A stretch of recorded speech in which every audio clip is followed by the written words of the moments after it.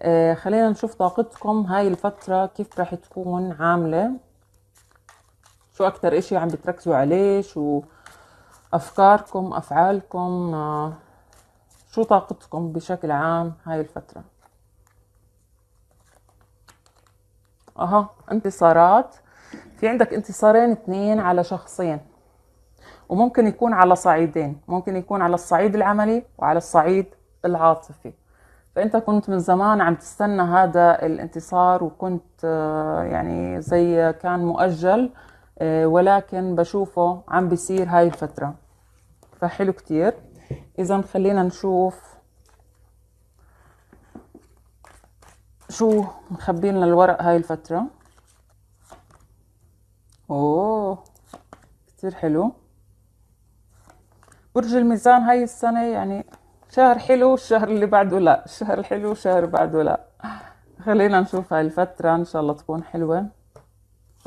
مبين من الورق إنه في أمور حلوة أو أغلب الأمور حلوة. شايفة يا برج الميزان يا حبيبي عندك آه، نهاية آه، فترة سيئة خلينا نقول. آه، كانت مليئة بالحزن كان فيها كان فيها أرق. كان فيها تعب. كان فيها حتى تعب جسدي. عم بيكون نهاية لهاي الفترة الحزينة وبداية جديدة رح تكون على العكس تماما خلينا نقول أو فيها كل مقومات السعادة والانتصارات والفرح. شايفتك كثير مبسوط هاي آه، شايفه في شخص عندك موجود عم بيخبي أسرار عم بيكون هو بحياتك مرتبط أنت فيه ارتباط كبير لكن هذا الشخص عم بيخبي أمور يمكن يكون على الصعيد العملي ممكن شخص عم بتطلع عليك بعين الحسد عم بيحكي عليك من وراك شخص ممكن يكون ترابي أو هوائي مثلك. أو حتى مائي آه هذا الشخص عم بيحكي شغلات يعني غلط شغلات كذب خلينا نقول.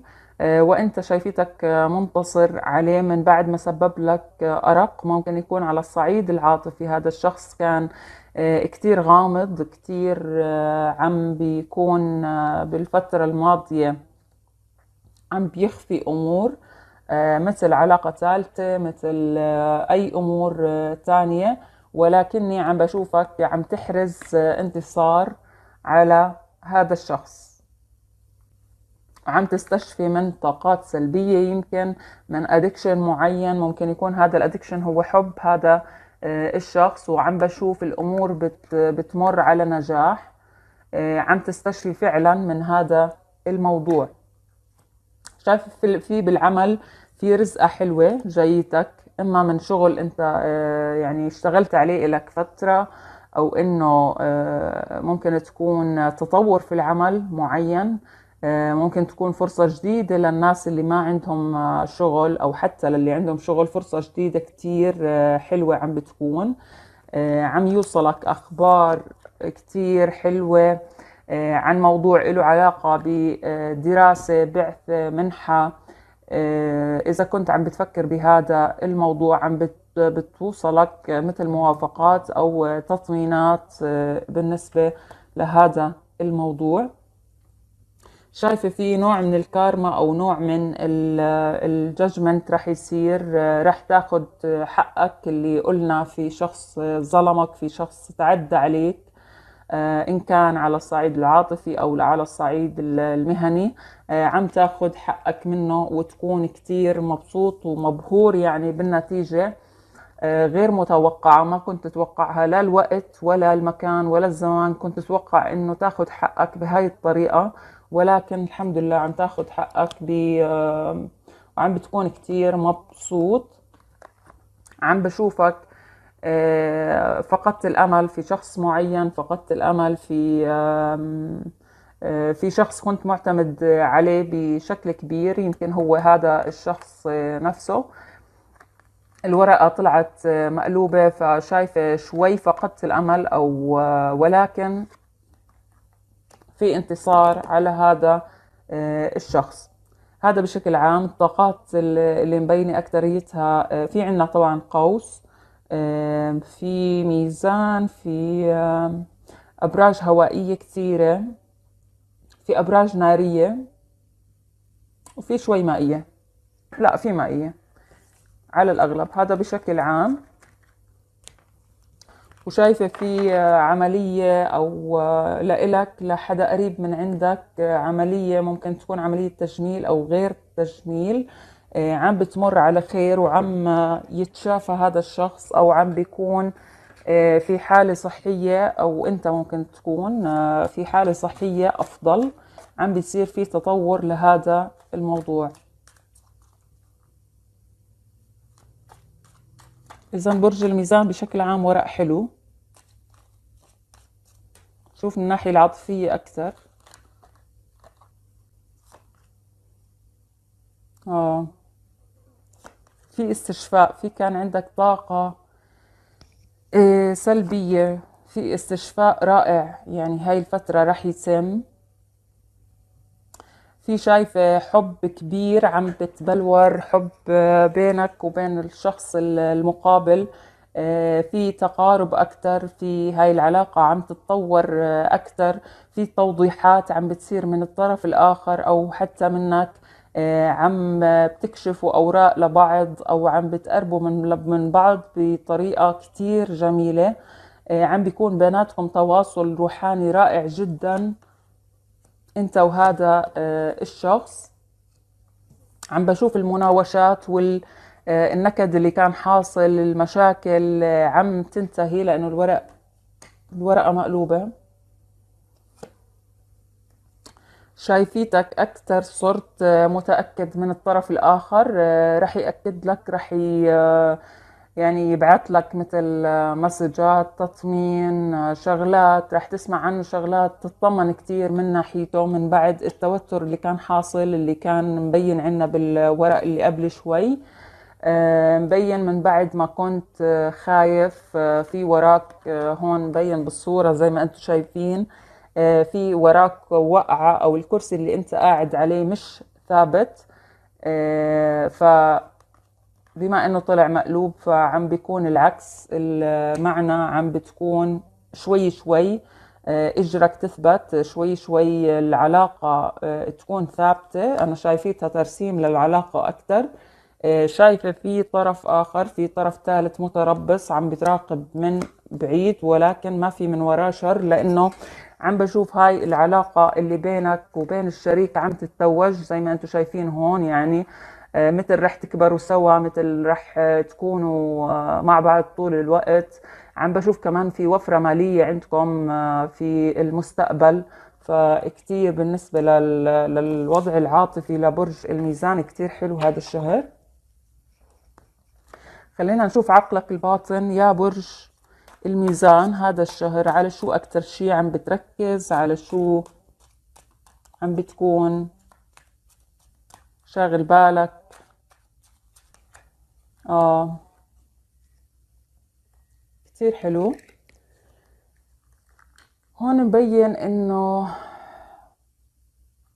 عجلة الحظ عجلة الحظ آه رح تكون معك أو ممكن يكون هذا الموضوع مثل بتلف اللفة في كارما رح تحصل عليها في أموال ممكن تحصل عليها كل الشوائب اللي كانت في عقلك الباطن الهواجس المخاوف الأوهام آه، رح شوي شوي تتخلص منها هاي الفترة رح تتلاشى في نهاية الفترة رح تلاقي حالك يعني قاعد فوق عم تضحك على حالك إنه أنا شو شو كنت عم بفكر يعني شو كنت عم بخاف من شو يعني بتستغرب من نفسك.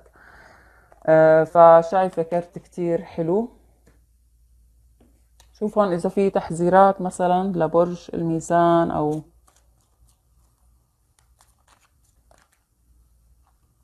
واو. آه مبين عندي مثل بستان خضار أوراق عم تزهر آه تزهر آه ورود شايفة يعني في إشي مثمر عم تعمله. إما العلاقة العاطفية عم بتعطي نتائجها من بعد صبر كبير على الحبيب عم تلقط النتائج تتلقط بالنتائج. آه، أو إنه يكون مشروع أنت بلشت فيه قديما وعم آه، وأخيرا عم تحصل على النتائج. لكن أنا شايفة هذا الكرت عاطفي أكثر يعني ممكن يكون العلاقة العاطفية هي نفسها آه، رح تتطور أو رح من بعد ما كانت مثل الورد الدبلاني أو كذا آه، رح لا رح يصير في اكشنز بالعلاقة. رح يصير في وعود من آه، الطرف الآخر رح يصير في ترسيم ممكن للعلاقة.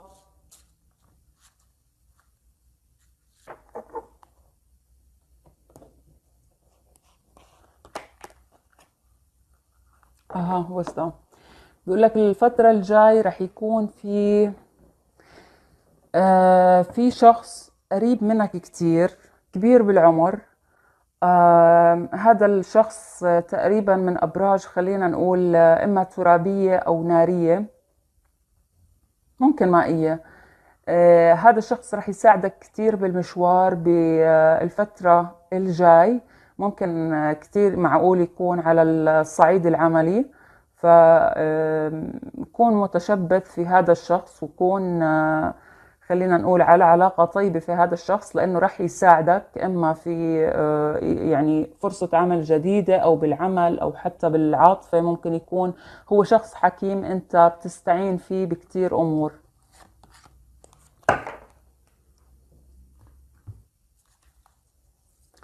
إذا برج الميزان شو يطلع لنا هون؟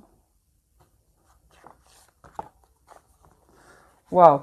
عم تهتم كثير يا برج الميزان دائما بيطلع لي هذا الكرت لإلك أو شبهه. آه، عم بتحاول هاي الفترة تعمل مثل relaxation تطلع vacation آه، عم تهتم في حالك أكثر عم بتكون في عمليات تجميل كتير رائعة واهتمام بالبشرة أو الجسم. آه، عم تهتم بمظهرك كتير هاي الفترة. وعم بتكون عن جد محط الأنظار طبعا كالعادة.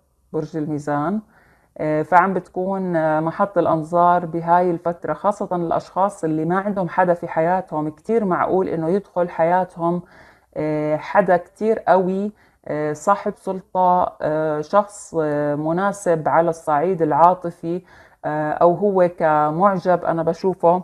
فهذا الشخص معقول كتير يكون برجه مائي مثلا فلو لو نوجد هذا الشخص حواليك أعطيه فرصة. خلينا نشوف كمان. لبرج الميزان.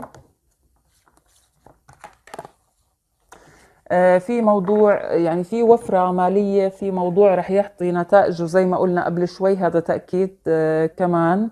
آه، ممكن تكون العلاقة العاطفية في ناس كتير رح يفرحوا لكم. وفي ناس كتير لا ما راح يفرحوا لكم ابدا بتطور العلاقة أو بالزواج أو كذا. آه، راح يكون في عيون كتير فانتبهوا.